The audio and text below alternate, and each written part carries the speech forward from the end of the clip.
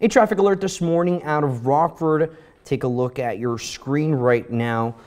That accident took place near the 2500 block of Auburn Road and Rockton Avenue. 13 WREX has reached out to police, but we have not received details on the crash.